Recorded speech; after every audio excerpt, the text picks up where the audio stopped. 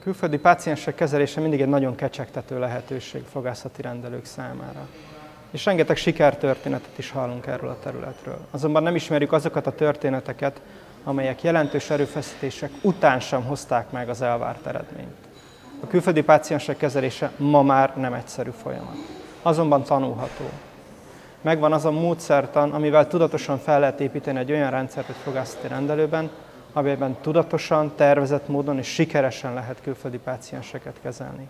Ezeknek a sajátosságait, ezeknek a keretrendszerét tudjuk elsajátítani az október 3-ai workshopon, ahol kifejezetten a külföldi páciensekre koncentrálunk, és arra, hogy ön milyen változásokat kell, hogy eszközöljön saját rendelőjében, hogy sikeres legyen ezen a területen.